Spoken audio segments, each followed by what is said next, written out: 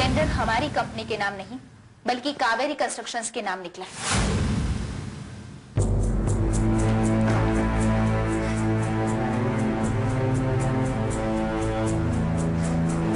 मुझे तो कुछ समझ नहीं आ रहा है कि हमारी कंपनी के साथ ही हो क्या रहा है।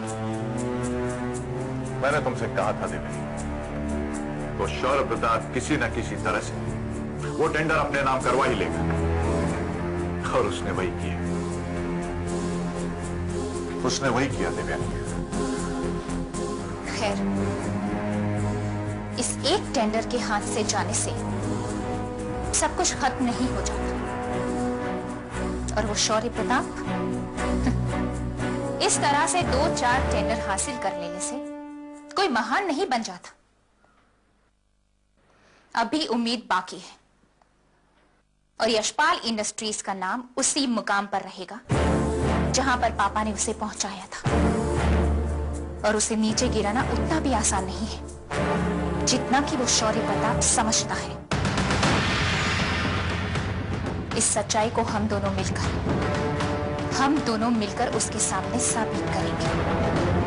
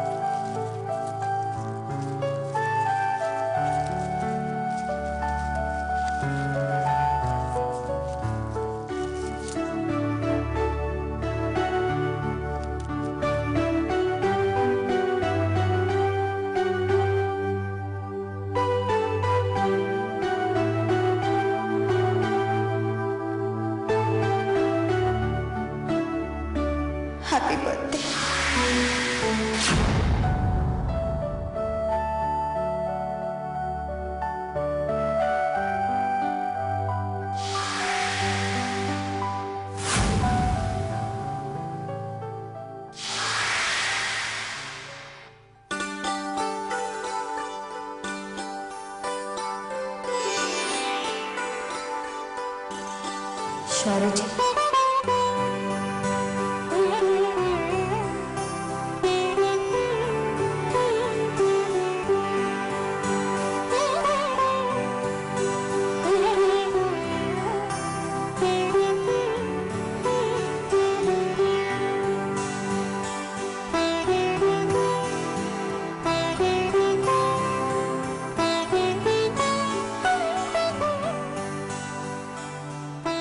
अनामिका हाँ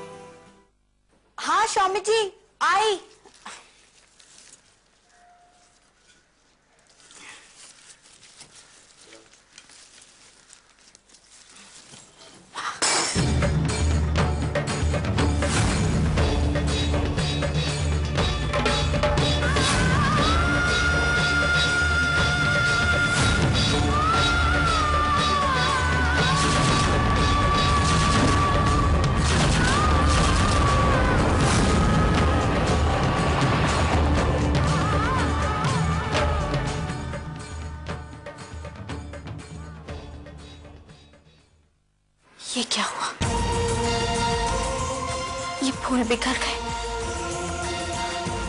ये वास। एक ज़िंदगी तो पहले ही गुमनामी के अंधेरों में खो चुकी है। अब ये ज़िंदगी भी, ये ज़िंदगी में मुझसे छीन जाएगी। इन फूलों की तरह मेरी खुशियाँ मुझसे बिखर जाएँगी।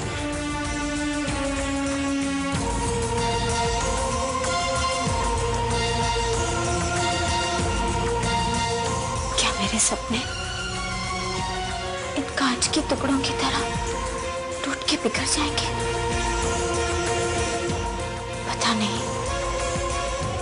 पता नहीं वक्त ने मेरी ज़िंदगी में क्या लिख रखा है।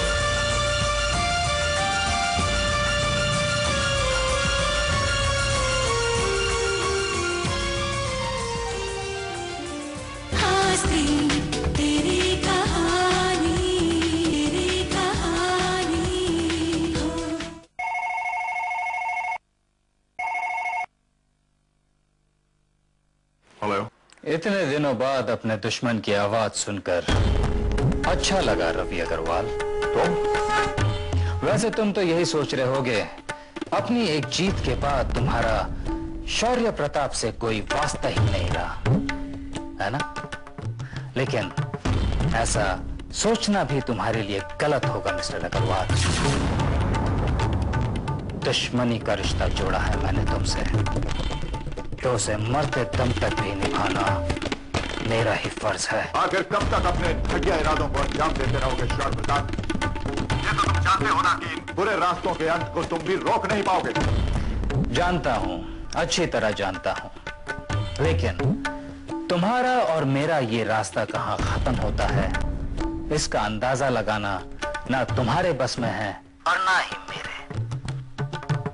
खैर तुम मुझे ये बताओ मेरी इस एक और कामयाबी से तुम्हें कितनी खुशी महसूस हो रही है मिस्टर अग्रवाल? मैं यहाँ तुम्हारी कामयाबियों पर खुशियाँ मनाने के लिए नहीं बैठा हुआ। और ना ही तुम्हारे बेकार के सवालों का जवाब देना ज़रूरी समझता हूँ। और ये बार बार फ़ोन करके मुझे परेशान करना बंद करो वरना मैं मिस्टर शौर्य प्रताप सिंह अपनी कामयाबी का जश्न मना लो।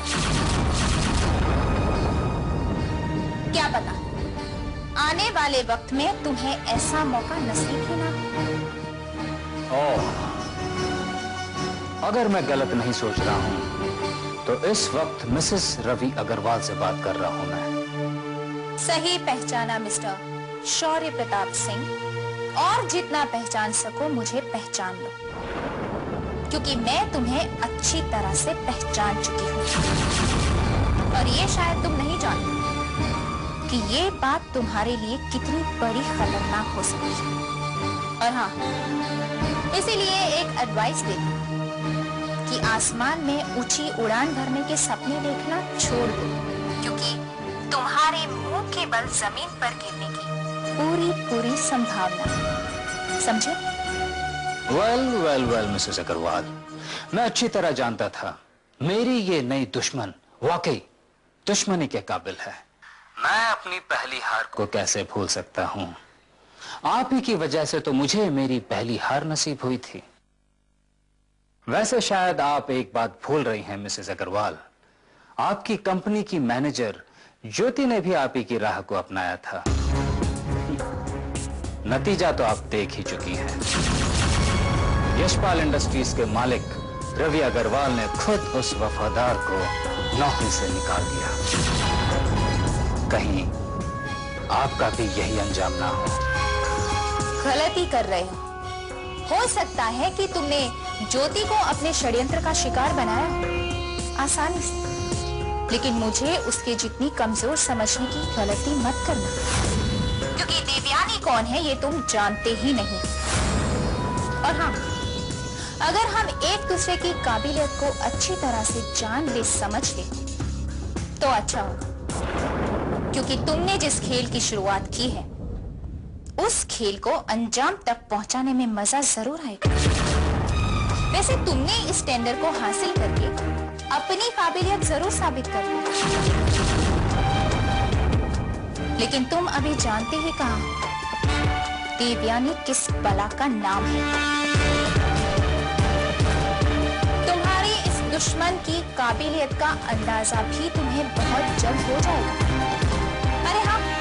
मेरी मौजूदगी में हुई तुम्हारी इस पहली जीत की खुशी के मौके पर, मैंने तुम्हें एक अहम तोहफा भेजा। और वो तुम्हारे घर की दहलीज पर बहुत जल्द ही पहुँच जाए।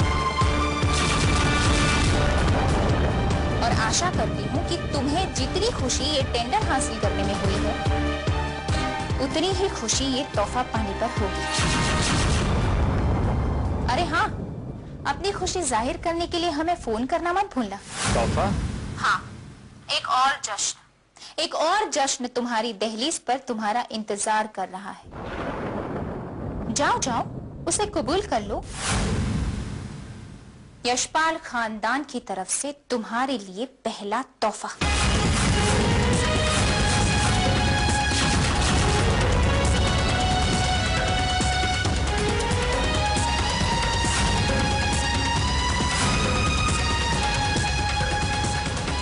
ये ये क्या बोल रही थी तुम देवयानी आखिर किस तोहफे की बात कर रही थी? बताओ मुझे देवयानी अब किस षड्यंत्र को अंजाम देना चाहती हो तुम? तुम बस देखते जाओ कि अब बाजी कैसे पलटती just wait and watch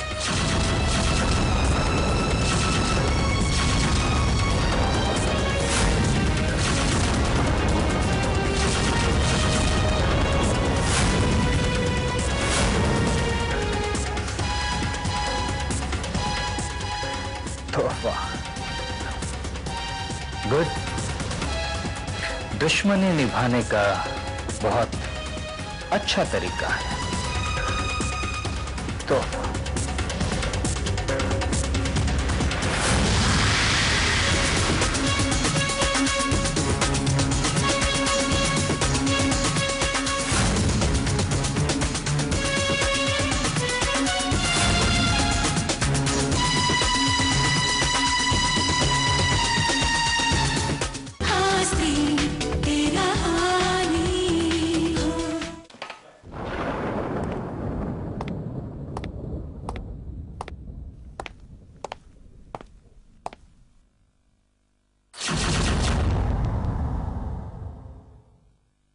inspector Shinde आप।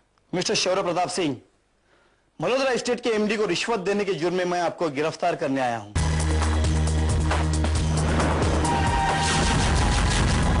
You are under arrest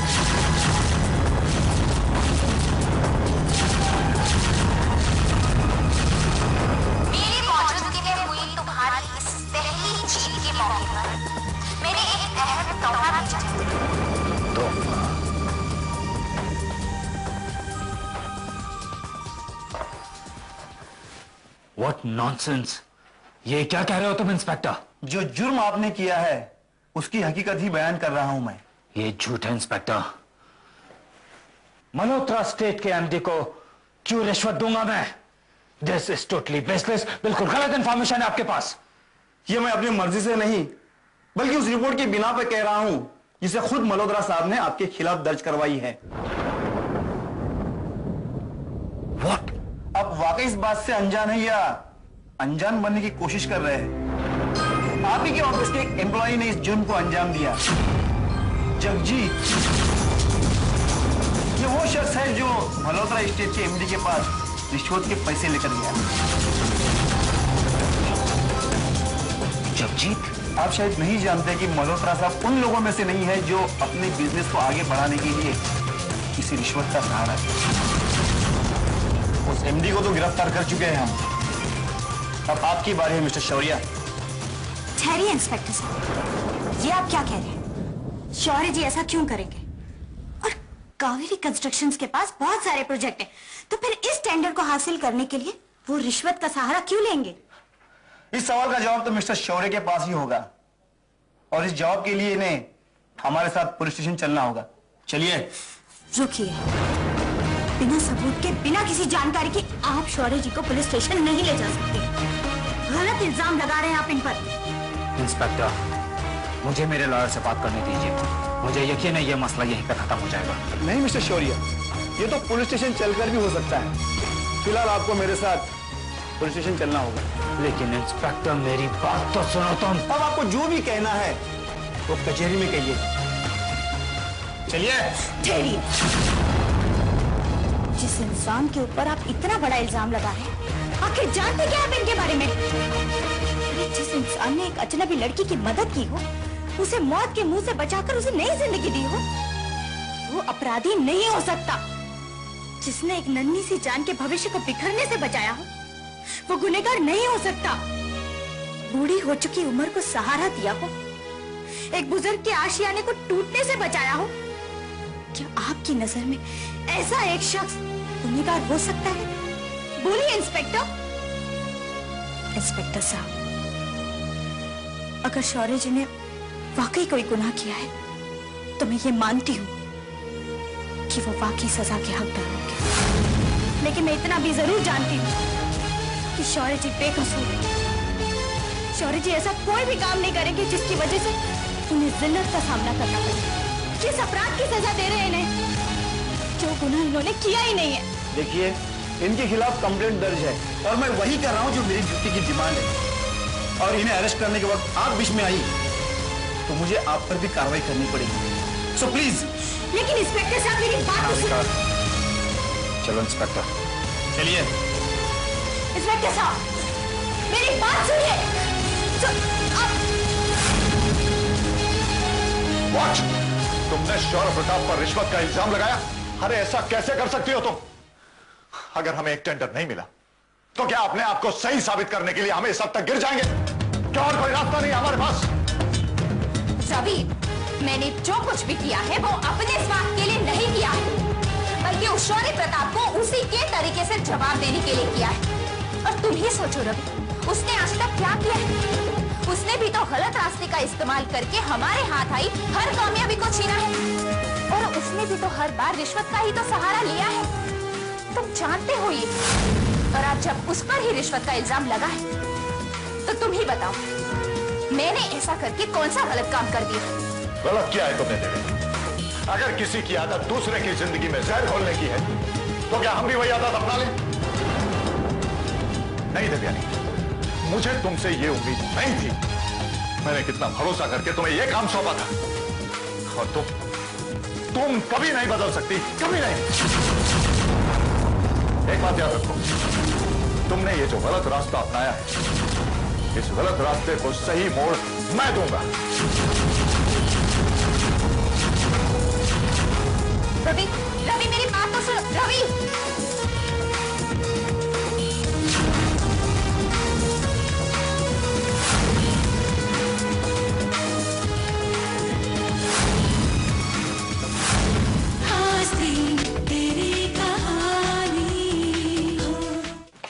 Anamika? Anamika? Anamika क्या बात है? तुम तुम फ़ोन पर भी घबराई हुई थी। सब ठीक तो है? क्या बात है? कुछ भी ठीक नहीं है। कुछ भी ठीक नहीं है स्वामी जी। क्यों? हुआ क्या है? अनामिका प्लीज़ मुझे बताओ क्या हुआ है? स्वामी जी शौर्य जी को पुलिस गिरफ़्तार करके ले गई है। क्या?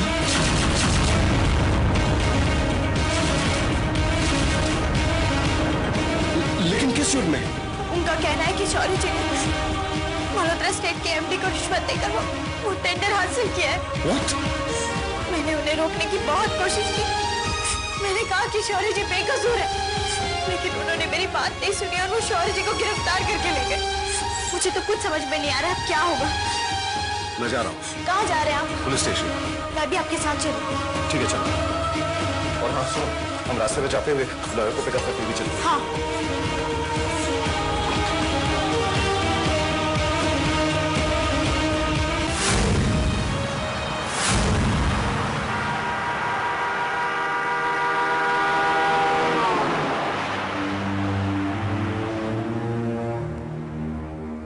काय बोलतो तुला कळत नाही का? ये केस मेरे थाने में नहीं बनता है। हाँ तुझे जो करना है वो कर, जा। मी याच्यामध्ये काही करू शकत नाही इंस्पेक्टर साहब. जब ये केस मेरे थाने में बनता ही नहीं है तो मैं कंप्लेंट क्यों लू? क्या? कमिश्नर से बात करेगा तू? जा, कर पण एक लक्षात ठेव। एफ़ मेरे थाने में दर्ज नहीं होगी। समझा? हाँ बोलो। देखिए, इंस्पेक्टर साहब, हम शौर्य प्रताप सिंह के लिए यहाँ आए हैं। जिन्हें आपने सुबह गिरफ़्तार किया है? हाँ जानता हूँ। जानते हैं ना तो फिर ये भी जान लीजिए कि हमारे लॉयर्स अभी आ रहे हैं। बेल के सारे पेपर्स लेकर। आप शौर्य को सलाखों के पीछे नहीं रख सकते। आप शौर्य प्रताप की बेल कराने आए हैं? जी हाँ। इसका मतलब आप कुछ नहीं जानते। आ- आप क्या करें मुझे समझ नहीं आ रहा। उनको तो बहुत पहले रिहा कर दिया गया।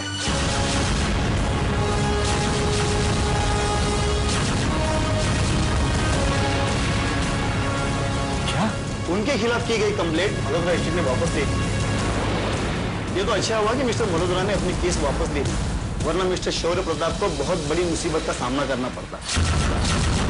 हमारे ये बात अभी आपको पता चल रही है। अब तक तो मिस्टर शौर्य प्रताप आपके साथ होने चाहिए। उसे रिहा कर दिया गया है। चला गया। अनामिका अगर वो चला गया है तो फिर तो फिर वो है कहाँ? रवि अग्रवाल!